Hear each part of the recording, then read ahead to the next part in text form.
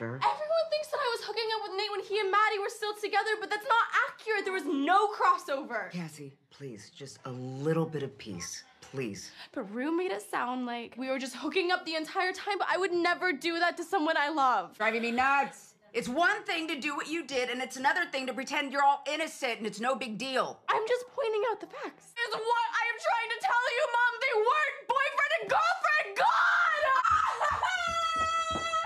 going on? I just want to die. Well, a corkscrew ain't gonna cut it. oh. I told you. I don't know which is worse. And if you weren't such a fucking loser with no self respect, you'd drop her because she treats you like shit. Enough! Enough! What? I can't say it to her, but you two can say it to me? I never said you didn't have any self respect! You don't have to! I can fucking feel it! Oh, she needs a fucking exorcism.